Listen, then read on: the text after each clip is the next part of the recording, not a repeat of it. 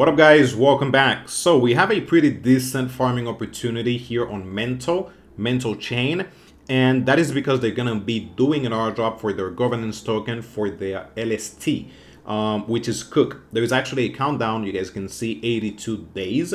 And so that means in around three months, we're gonna be receiving the airdrop. I do like it because it is quite simple. You just need to stake some funds, which is the liquid version of ETH on Mantle, which is METH and also, we're going to be using some projects that are also tokenless. So at the same time, we're going to be farming multiple projects. And also, we don't need to go into the hassle of um, just like scroll, minting some badges, taking a crazy amount of transaction, doing this quest, that quest. So quite easy. If you have some funds, you send it to Mantle, you stake it, and then you're going to be receiving some powder, which powder is uh, what will be converted for Cook, which is the governance token for their LST project. Good thing is Mantle is already huge. It is a really, really large project. So right now, I think it is worth around $2.7 billion.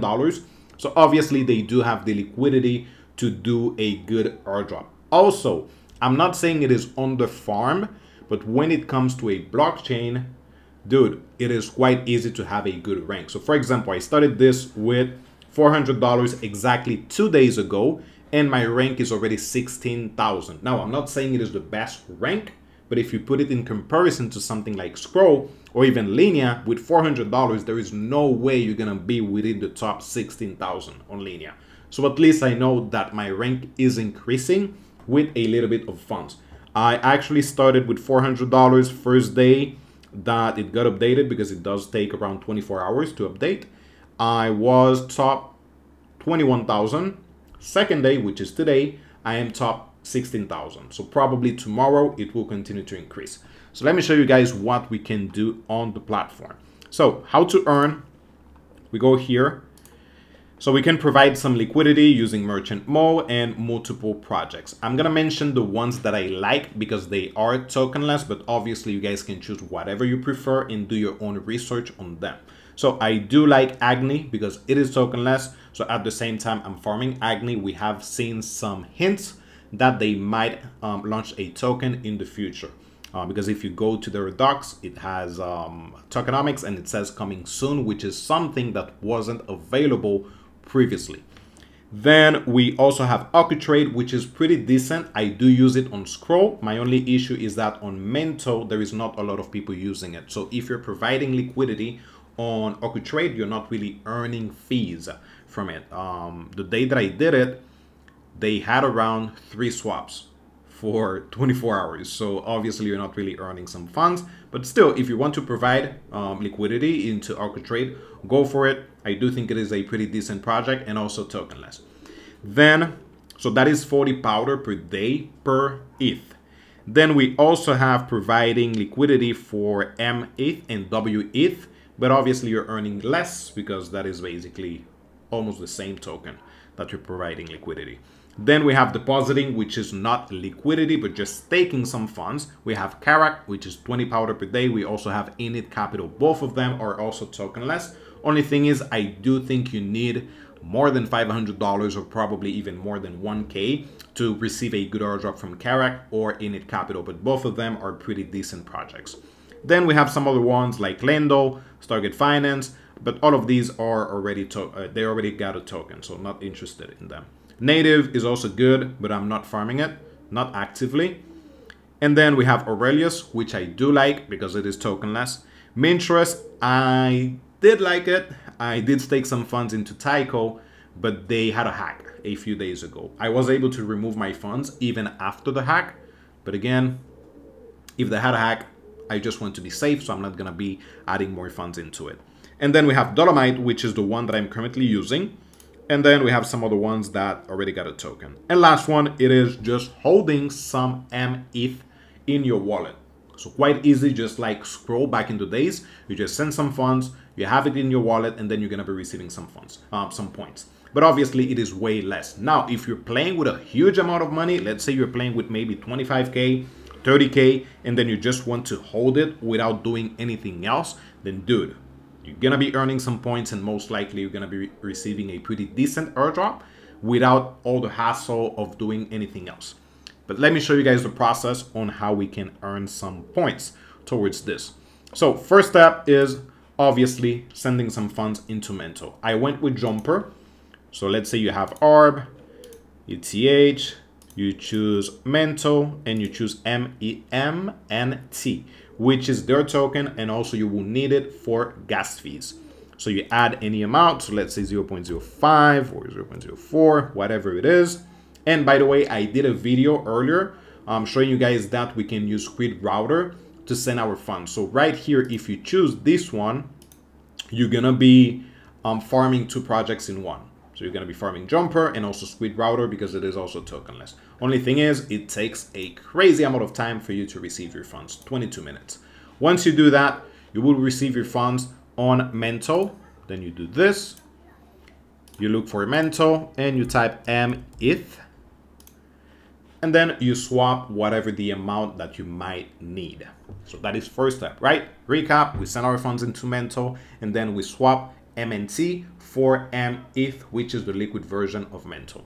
Once you have that, which by the way, let me make a pause, make sure that first you do join um, using the website, because if not, you're not going to be earning points. So make sure you do complete that part. I'm going to be adding the link in the description, which by the way, it is a referral link. Whenever you can, use a referral link from someone so you can help them out. Uh, maybe it is mine, maybe it is from somebody else, doesn't really matter. As you can see right here, I have the one from FIP, or usually I just look into my Discord group to see if anybody got a um, referral link. So yeah, I'm gonna be adding the link. You first join, connect, everything, all the process that you guys already know. Then as I said, jumper, you get METH, so you can start the process. So first step, how to earn, is that I'm gonna be depositing some funds into Dolomite so I can borrow against it. So you go here, you connect your wallet, and by the way, Dolomite is tokenless.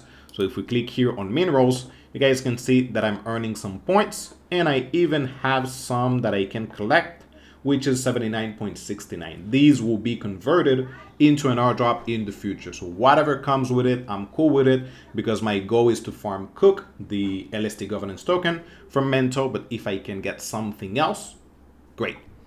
So we go to balance. First step, please pay attention.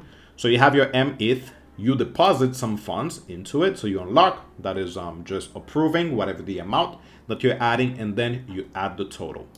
Once you deposit it, um, if you want to borrow against it, you just go to borrow right here. You deposit your, your funds so you can use it as a collateral. Once you do it, then you will see this open borrow position.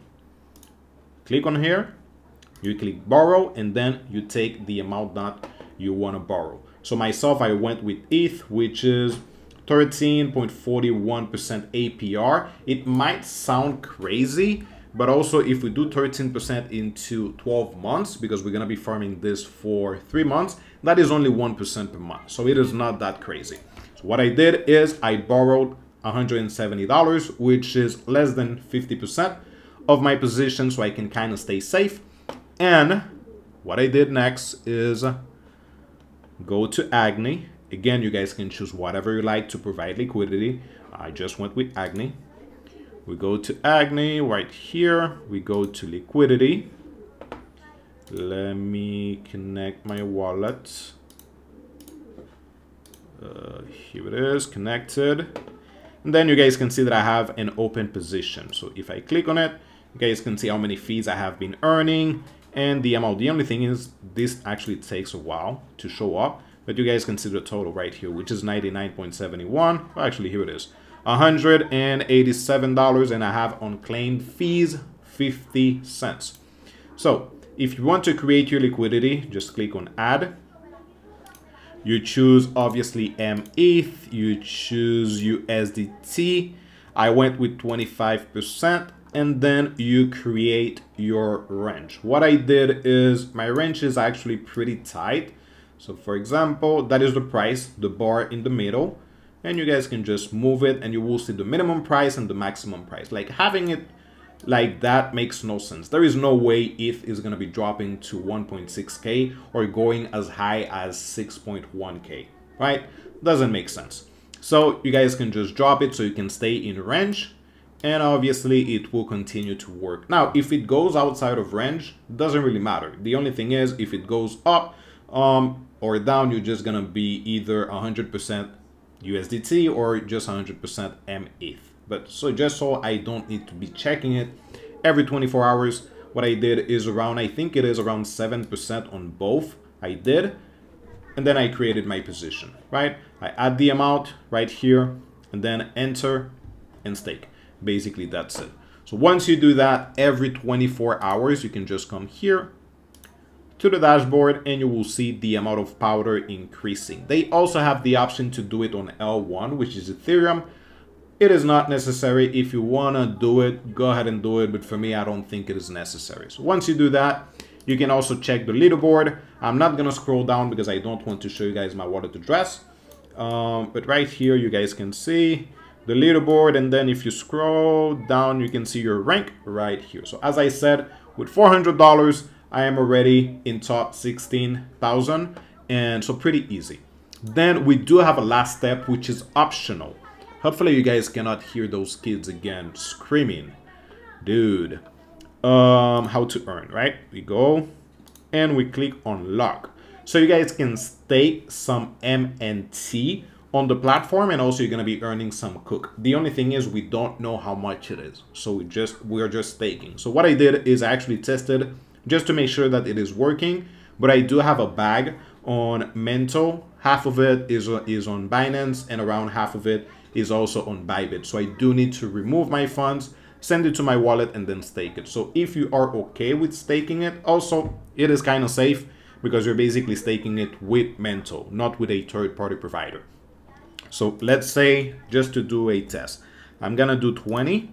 You choose your lock-in period, which can be flexible, so you can remove your funds at any time. You can do 50 days, 100 days, 200 days, 300 days. Um, since I'm not planning on selling mine, I'm okay with choosing 100, but do whatever is best for you. We do lock, continue. Let's see if I get that pop up. Here it is. And then we stake. That's it, right? And then you can check your lock status. It will show right here. So 41, it is updating. And you guys can see when you can remove your funds and everything else. So yeah, here's the amount. So my first try. 1, then 10, then 10, then 20, which is today. So in total, we have stake 41 Mantle Again, there is not a, a specific amount, but if you do like the token, if you're planning on holding it for maybe the long a long time, go ahead and stake some so you can also earn a, a multiplier on whatever the, the powder that you're currently receiving. So yeah, there you go. Quite easy. But again, if you guys want to change the strategy a little bit, go for it because you don't need to stake at first on Dolomite and borrow against it. If you just want to go directly into, into providing liquidity with Agni, that is an option. If you just want to hold your METH in your wallet, that is also an option. If you don't want to choose Dolomite, you guys can go with um, Aurelius, which is tokenless. Or if you just want to stake it, you can go with Karak or Init. So there is multiple options. Just choose the project that you like but obviously I'm only showcasing what I'm currently doing. I'm never I'm never gonna be um, covering what I'm not currently doing. So yeah, there you go guys. I think this is pretty easy to understand, but if you have any questions, any doubts, just let me know. Thank you guys for watching. Take care. Bye-bye.